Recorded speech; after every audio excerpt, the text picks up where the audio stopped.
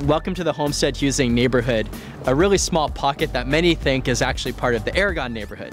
Homestead Husing is just south of the Aragon neighborhood and it's north of Barneson and in between El Camino and Alameda. Homestead Homes resembles neighboring Aragon with bungalows, craftsmen, and Spanish-style homes built in the 1920s and 1930s.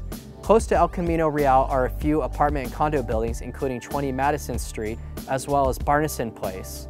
Homestead Husing offers much of the same perks as the Aragon neighborhood. Close to downtown, easy access to Baywood Elementary School, Borel Middle School, and Aragon High School, as well as vintage homes on tree-lined streets at a slightly more affordable price. I hope you enjoyed learning about the Homestead Husing neighborhood. If you'd like to learn more, please give me a call.